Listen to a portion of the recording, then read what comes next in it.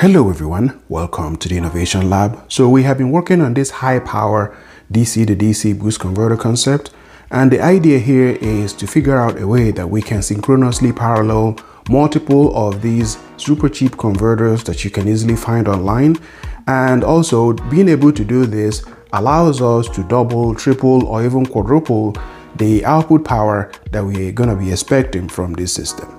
So we have been testing and testing and testing and finally we're working on the uh, video for the synchronous parallel DC to DC converter system.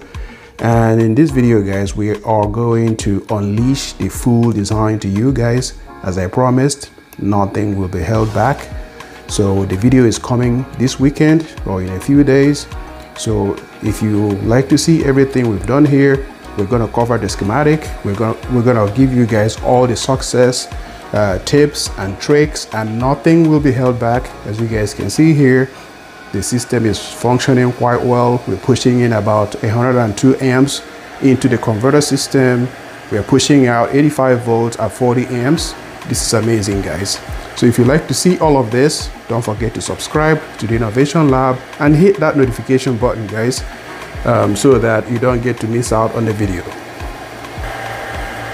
Alright my friends, I'll see you guys in the next video.